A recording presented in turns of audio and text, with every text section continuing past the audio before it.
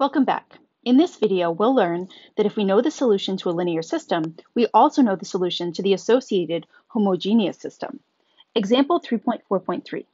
Given that the general solution to the linear system, x1 minus 2x2 plus 3x4 is equal to 1, minus 3x1 plus 6x2 plus x3 minus 4x4 is equal to minus 2, and 2x1 minus 4x2 minus x3 plus 2x4 is equal to 1, is given by the following vector equation, x1, x2, x3, x4 is equal to the constant vector 1, 0, 1, 0, plus the vector 2, 1, 0, 0 multiplied by the parameter t, where t is a real number. We need to find the solution to the associated homogeneous system, which is given here. Notice that the only difference between this system and the one above are the constants. In the first equation, I had constants 1, minus 2, and 1. In the homogeneous system, of course, I have constants 0, 0, and 0. Okay, so what we can what we'll see is that we can actually write down the solution to the homogeneous system just by knowing the, the solution to the original system. In order to see how we're going to do this, I'm actually going to go through the row reduction process. So let's start by writing down, let's call this here system A, and we'll call this new system, the homogeneous system, we'll call that system B. That way we can differentiate easily between the augmented matrix of each. Okay, so the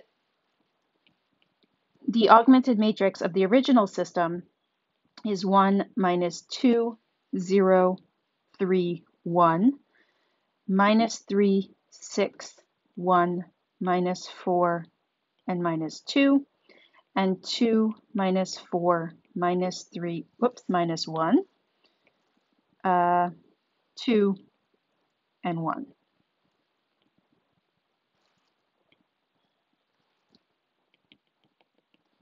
Okay, so we need to go through the reduction process to see where the solution comes from. So when I do that, the first two row operations that I'll do, I'll use the leading one in the top left to do row 2 plus 3 times row 1 becomes the new row 2, and row 3 minus twice row 1 becomes the new row 3. So this gives me the matrix 1 minus 2, 0, 3, 1, and 0. And now I do 6 uh, plus 3, so that's also a 0, then a 1, and minus 4 plus 9 is 5, and minus 2 plus 3 is 1. And for the last row, I have 0, and then again 0, and then minus 1, and 2 minus 6 is minus 4, and finally 1 minus 2 is minus 1. Okay, now we'll use this leading entry here to clear below using the row operation row 3 plus row 2 is the new row 3. This is going to give me the augmented matrix 1 minus 2, 0, 3, 1, 0, 0, 1, 5, 1, 0, 0, 0, uh, 1, and 0. Okay, now I'll use uh, this leading one here to clear above.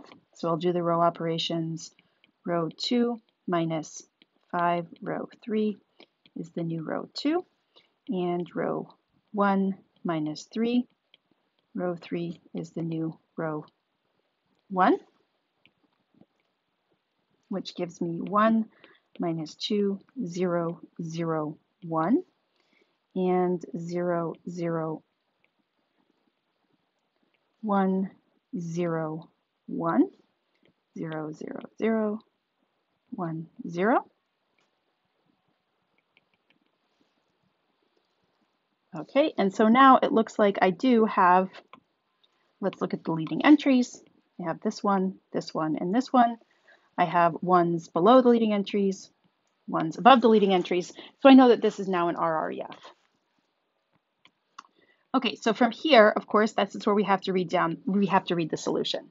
So when I read the solution uh, from row three, I have that x4 is equal to zero from row two, I have that uh, x3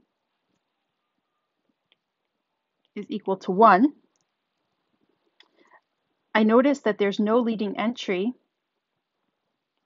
in the second column, so I'm going to call the variable x2 the parameter t, where t is in R. And finally now from row 1, I have that x1 is equal to 1 plus 2t.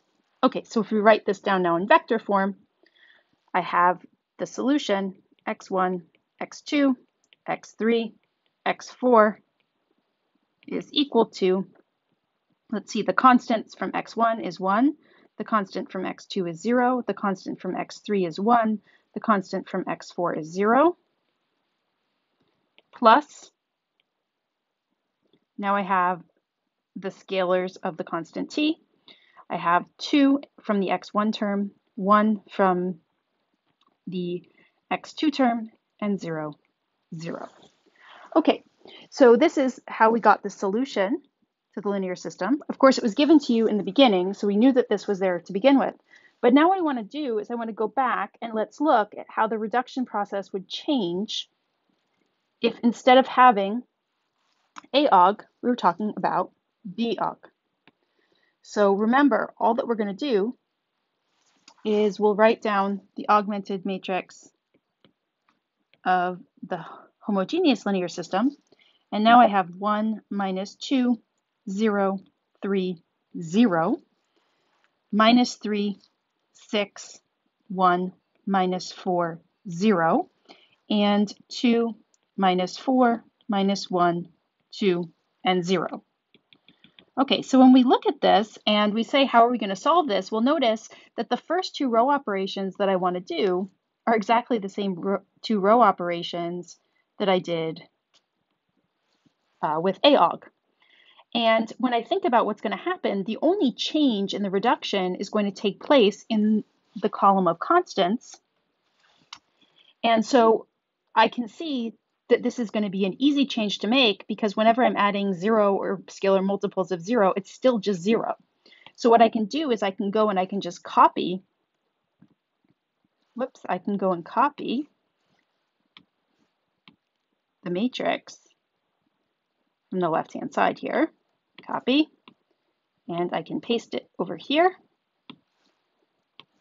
And the only thing that I'm going to change is I'm just going to add some zeros. Okay, and then I think about what's going to happen next, and I'm going to do exactly the same thing. I'm going to keep this same row operation.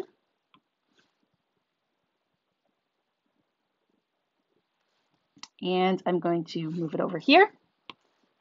When I reduce, I'm going to get the exact same matrix. So again, I can just copy it off the left-hand side, paste it onto the right hand side. Again, let's just separate everything here. And the only change that I have to make is to the constant column.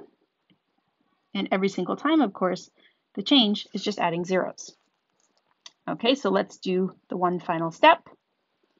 So in the final step, I end up with the matrix 1 minus 2 zero, zero, zero, zero, zero, one, zero, one, and zero, zero, one.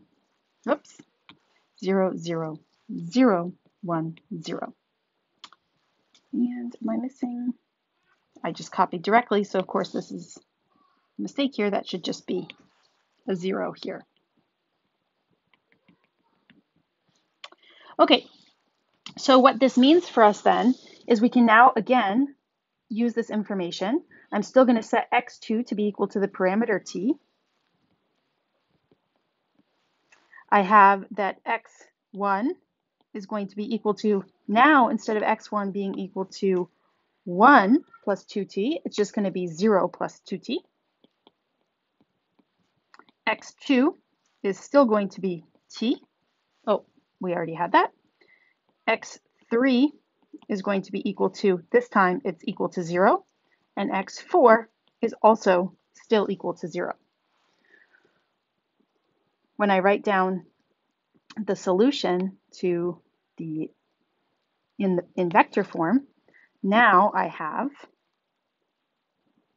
x1, x2, x3, x4 is equal to, let's write down the column of constants. Wait a minute, it's all zeros. 0, 0, 0, 0, plus, let's write down the coefficients of the t's. From x1, I have 2. From x2, I have 1. And from the others, I have 0. So here again, t is a real number parameter. Let's compare these. Notice that the constant vector on the left-hand side was 1, 0, 1, 0. For the homogeneous system, it's 0, 0, 0, 0. This makes sense because we know that the trivial solution is always a solution to the linear system. And when we look at the parameter t, on the left-hand side, we have the vector 2, 1, 0, 0. And notice on the right-hand side, it's exactly the same vector, 2, 1, 0, 0. Therefore, to write down the solution to the homogeneous system, I could have just started with the solution to the original system, replaced the constant vector by the zero vector, and I'd have the solution. That would have been quite a bit faster.